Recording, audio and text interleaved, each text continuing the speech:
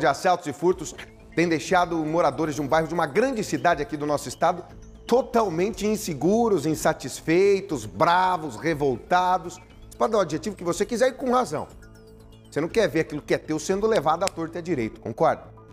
Não tem hora, não tem local e nem se importam com as câmeras de segurança mais os bandidos. Fazem isso aqui, ó. Presta atenção e aí como é que você se defende? Olho atento. O tempo inteiro vigiando. É triste, né? É aquela situação de aflição e de atenção total o dia inteiro. Veja. Observe este carro estacionado. O homem que chega não é o proprietário. Mesmo assim, ele entra pela porta do passageiro e, em seguida, arranca com o veículo. A imagem está um pouco acelerada, mas o furto todo dura menos de um minuto e meio. No mesmo bairro, outra câmera pegou uma ação ainda mais rápida. O carro de aplicativo está parado, com as portas abertas. Os bandidos descem no meio da rua, armados, levam os pertences do motorista e do passageiro e fogem logo em seguida.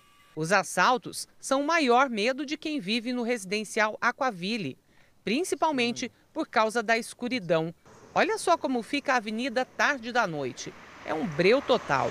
Já teve assalto à mão armada aqui, né? E a quantidade de assaltos que tem acontecido à luz do dia também devido ao matagal. Além do medo constante dos assaltos, os moradores dizem que o tráfico de drogas está cada vez mais presente aqui no bairro.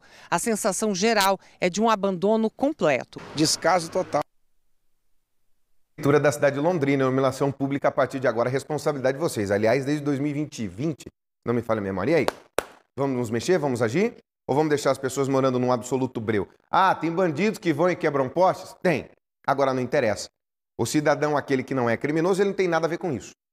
Quebrou, arruma. Quebrou, arruma, quebrou, arruma e vai atrás de quem quebrou. Quem não é o bandido não tem que sentir os efeitos da bandidagem.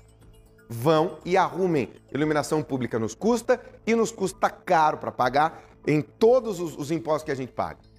Inclusive no IPTU tem lá uma taxa de iluminação pública, não vamos nos mexer, né? Não dá para deixar a população ao Deus dará, abandonada desse jeito. Você viu ali na, não sei se tem imagem desse breu ali, ô Nakamura.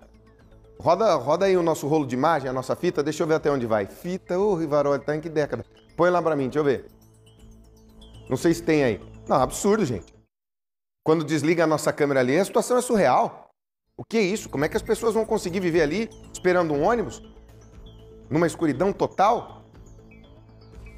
Luz é também segurança pública. Luz é também segurança pública. Atenção, prefeitos, coloquem isso na cabeça de vocês e agora é de sua responsabilidade isso, viu?